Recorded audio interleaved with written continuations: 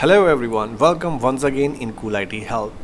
Guys, today I will tell you how to connect dbeaver SQL client with Derby database. Let's get started. So guys, uh, what we have to do, first of all, we have to start the DB server. So uh, we have to go inside the program files and now here go to the Java folder.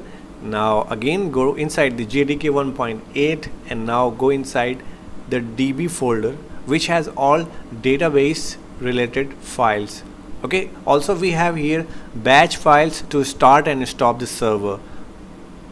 So I'm looking for the start network server dot bat file. Here it is. So we have to start it. But before starting it we have to set up the environment variable for this folder. So what we have to do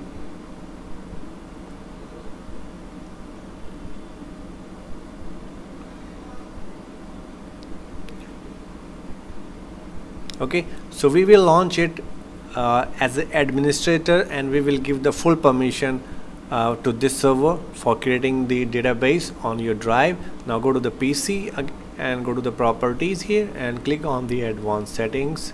And now here click on the environment variable. Now you can see I have already created this system variable. So you have to create derby underscore home variable and the value you have to give the path up to db folder I hope this is clear to you. Once you click once you're done you have to click OK.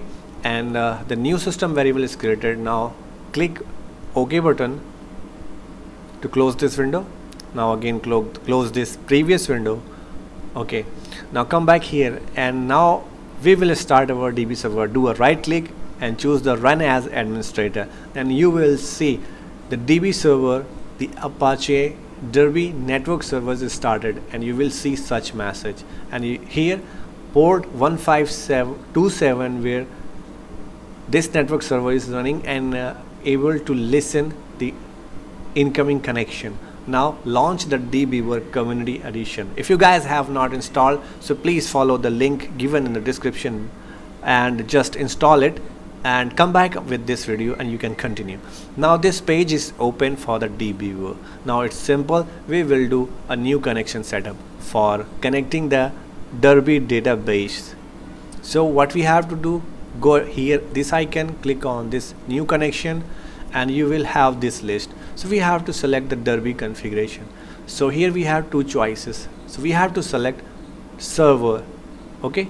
Once you click do a next and uh, right here we have to fill some details like database or schema name. So I am giving a name like test db and uh, you can see here the JDBC URL automatically formed. Okay? And here create is equal to true means we are creating database first time. So the new database file will be created. Okay? If you put it false so that file will not be created and try to look up for the existing file. Once you're done click next and all these settings left blank no need. And uh, do again next and you will have this uh, finish connection creation window. And here you can test the connection. Is it working or not? Okay now it's working. Finally you will get this message that success. The our connection is successful and now we are connected with the Derby database okay and we have created the test db and here let me expand this tree and you will see these users available. And uh, now you can create uh, your uh, tables here with the help of uh, SQL so you have to write some uh, create SQL so I will show you by creating one table here. So do a right click and open the SQL editor okay if this window is not open so just paste one create table script and I'm going to create inside the a double p and just hit execute and you will see the new table is created here. Okay you have to refresh once and now you will see the persons table is created here. Okay guys this is the columns. We have created the four columns in this table so this was the way you can connect the Derby database with the help of dbeaver SQL client I hope you guys have clear understanding on this. If you have still any doubt, so please comment. I will try my best to reply as soon as possible. If you found this video useful, so guys please like, share and don't forget to subscribe my channel and keep watching Cool IT Help.